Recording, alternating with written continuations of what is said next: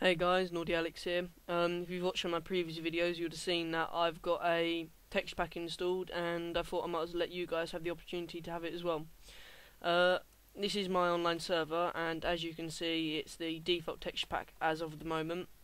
I'm going to run a quick tutorial on how to install the texture pack, and you guys can give it a try for yourself.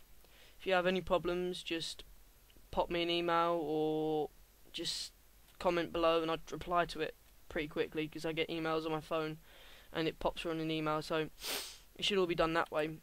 Um, the first thing I want to do is go to the Minecraft forums. I want to go into mapping and modding and then texture packs and then find one called Misa's 64 by 64 realistic. You then want to get the Minecraft patcher which is the link that's there. I've got it just here. If you're on Windows 7 you have the ability to just literally drag that and drop it to the side. As you can see I've already got it there. I'll do it again just for the hell of it.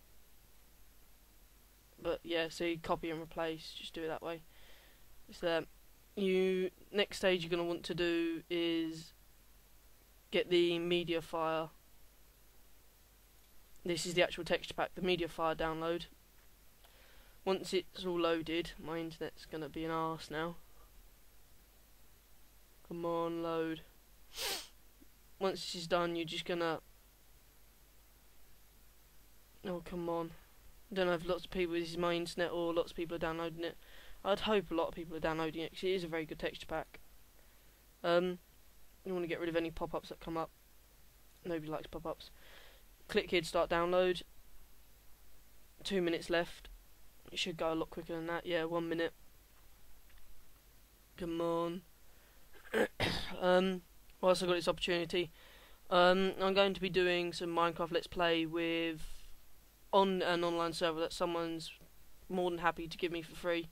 Um, it's literally going to be just a duo Minecraft Let's Play, so it could be a bit bit of interesting. There could be a bit of larking about. It could be a bit of mucking around, but overall, I think it it should be good. And it does appear to be my my internet that's slow, so I'm going to pause it here and I'll come back once it's downloaded.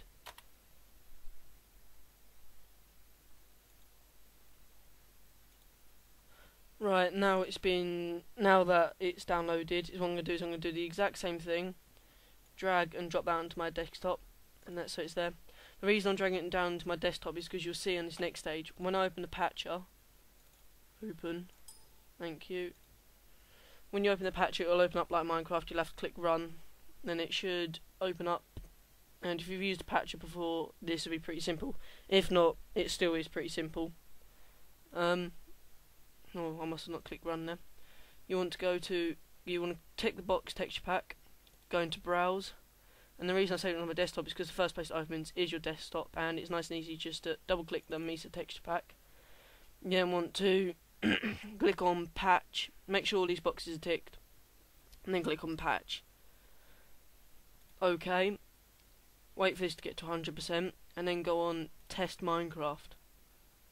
As you can see, the Mojang, lo Mojang logo looks a bit different, and all this has changed. If I then go back into my Minecraft server, oh, I won't be able to go back in this way. If I close this, close this, and close that, I now need to close down here, load my Minecraft back up, log in, and go on the multiplayer. I should spawn back in the same place and you'll see how much of a difference this is. It's all changed, I haven't had to do anything after I've done it on the patcher. It's all changed automatically for me and I prefer the writing as well. It's not pixelated writing. It's all smooth. Um, he does have a livestream, so if you do have any problems, you can get into it that way. But otherwise, this isn't going to load. Let's try again quickly.